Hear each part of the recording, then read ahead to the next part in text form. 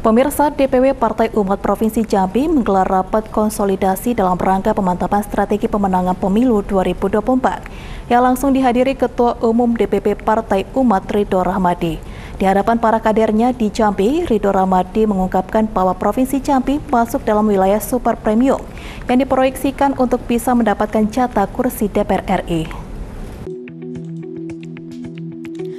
Ketua beserta pengurus DPW Partai Umat Provinsi Jambi sambut kedatangan Ketua Umum DPP Partai Umat Ridho Rahmadi beserta rombongan di Bandara Sultan Taha Jambi Selasa 20 Juni 2023. Setibanya di Jambi, Ketum Partai Umat itu langsung menuju ke sebuah hotel di Jambi untuk melakukan rapat konsolidasi dengan DPW, BPPW, DPD, BPPD, beserta Bacalek DPR RI, DPRD Provinsi, dan DPRD Kabupaten Kota seprovinsi Jambi. Dalam arahannya, Rido mengatakan kunjungan ini dalam rangka roadshow untuk memantapkan strategi pemenangan Partai Umat di pemilu 2024 mendatang agar bisa mendapatkan jatah kursi DPR RI. Untuk pemantapan strategi pemilu tersebut, Rido menyebut ada dapil super premium dengan jumlah 29. Hasil dari proyeksi dari perolehan 29 itu sudah sesuai dengan rencana strategi dan berharap rencana ini dapat terwujud.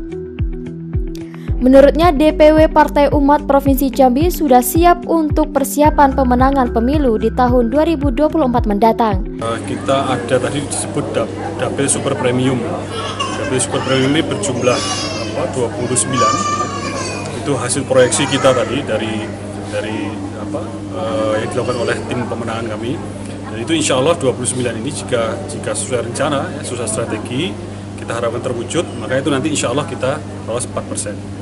Adapun kita nanti juga punya sisanya itu dari 29 sisa sekitar 26 ya. Itu kalau di total seluruhnya 55 jadi 26 26 dapil tambahan sisanya ini adalah harapannya untuk memasukkan atau mendorong melambungkan Partai Umat. Kalau itu nanti masuk 55 dapil ini kita berharap bisa bisa dapat dua digit secara nasional. Dia bisa Sementara itu, Ketua DPW Partai Umat Provinsi Jambi, Muhammad Mahili menyampaikan bahwa target untuk Jambi sesuai dengan hasil pemilu 2019. Partai Umat memiliki peluang untuk meraih satu kursi DPR RI.